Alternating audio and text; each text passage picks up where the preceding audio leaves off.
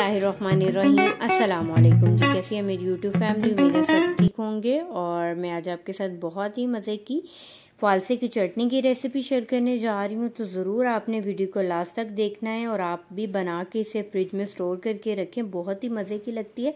इसे चपाती के साथ खाएँ तो उसके लिए सबसे पहले मैंने आधा किलो मैंने फालसे लिए, उसे मैंने अच्छी तरह से धोया, इनकी डंडियों को उतारा और पैन में ऐड कर दिया और साथ में मैंने इसमें एक पाव चीनी ऐड कर दी। हाफ़ के जी में मैंने पाव चीनी ऐड की है। हाफ़ के जी फालसे में मैंने हाफ़ के जी चीनी इसलिए नहीं ऐड की, क्योंकि मैं चाहती हूँ कि जो फालसों का अपना टेस्ट है, वो आए चटपटा सा, ये ना हो कि मीठी मीठी ज़्यादा हो जाए।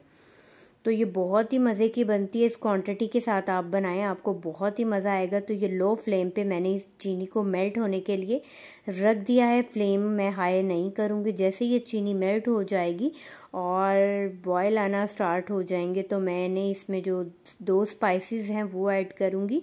बहुत ही ज़बरदस्त, बहुत ही चटपटी ये चटनी रेडी हो जाएगी।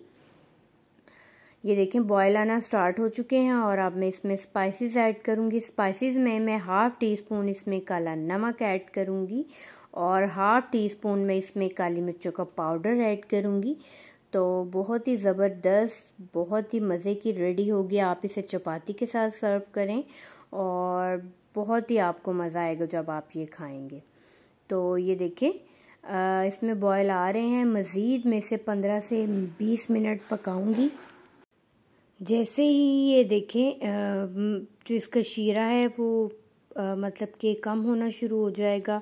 और इसका ये फ़ायदा होगा कि आप इसे ज़्यादा, जितना अच्छा पकाएँगे, उतने ज़्यादा दिन आप इसे स्टोर कर लेंगे, फ्लेम को ऑफ़ करूँगी। और इसे सर्व करूँगी और ये देखें कि बहुत ही ज़बरदस्त चटनी जो है रेडी हो चुकी है। उम्मीद है आपको मेरी वीडियो पसंद आई होगी। अगर आई है तो इसे लाइक करें शेयर करें, मेरे चैनल को सब्सक्राइब करें। साथ में बेल आइकन प्रेस करना मत भूलेगा, क्योंकि उससे आने वाला मेरा हर लेटेस्ट नोटिफिकेशन सबसे पहले आपको जाएगा। मुझे अपनी दुआ में याद रखिएगा। अल्लाह हाफिज़।